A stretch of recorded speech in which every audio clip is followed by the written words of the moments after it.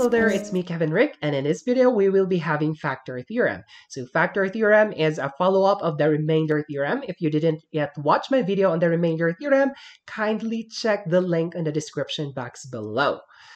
Pinag-usapan natin sa remainder theorem na if we have a polynomial divided by a binomial at kung kinuha natin yung c at plinag natin or sinubstitute natin sa polynomial at kung ano yung lumabas na result, then that is the remainder. Okay? So now, ano ngayon ang connection niya sa factor theorem? Okay, so let p of x be a polynomial. If p of c is equal to 0, then x minus c is a factor of p of x. If x minus c is a factor of p of x, then p of c is equal to 0.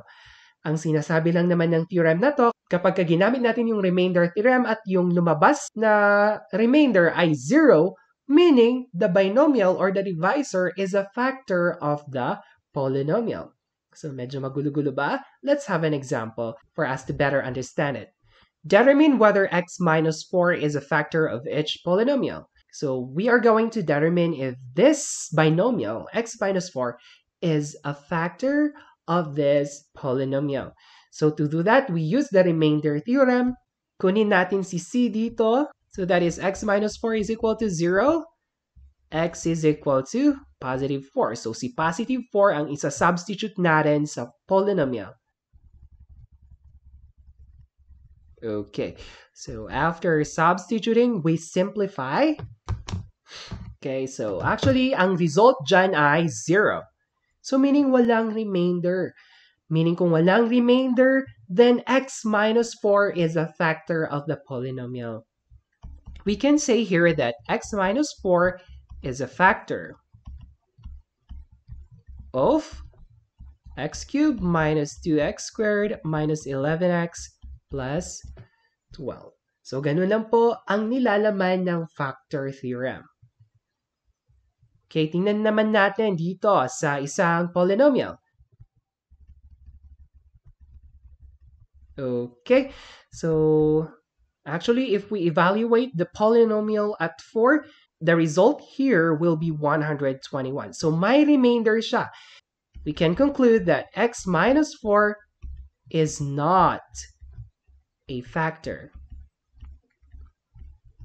Okay? So, ganun po ang factor theorem. So, kung ginamit natin yung remainder theorem at yung lumabas ay 0, then the divisor is a factor. Pero kung may lumabas na value other than 0, then of course it is not a factor of the given polynomial. Let's have a different problem. Okay, so common to under a factor theorem. Find k so that x plus 3 is a factor of x cubed minus 2x squared minus kx plus 12. So, ang gagawin lang naman dito is that we are going to solve for k given this one. So, ano daw yung magiging value ni k para ang x plus 3 ay magiging factor ng polynomial na to. Always remember na kapag kasinubstitute natin si c from this divisor to the given polynomial at yung lumabas na result ay 0, then that divisor is a factor.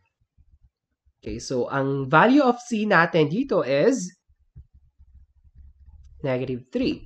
So, di ba, kung isi-substitute natin si negative 3 sa polynomial, at kapag ka 0 ang lalabas na sagot, then this is a factor. At yun nga ang gusto nating gawin, di ba?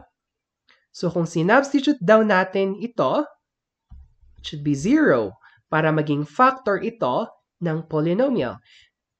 So we can expand this. So ang gagawin natin dito is to substitute negative 3 in the polynomial. Okay? So ito po, ang p of negative 3, ito ang equivalent niya. So meron pa tayong, don't forget to equate it to 0. Okay. Now we simplify. So if I'm going to add all this, kasi sila naman ang similar terms, the result is actually negative 33. Of course, may natira, si plus 3k equate to 0. We solve for k. So si negative 33 dadalhin sa kabila. So that will become 3k is equal to positive 33. And so we solve for k. We divide both sides by 3. and k here is equal to 11. So the value of k should be 11 so that x plus 3 is a factor of x cubed minus 2x squared minus kx plus 12. So that's how you solve problems like this. So that's it guys for factor theorem. Thank you again for watching. I hope to see you in my next video. Bye!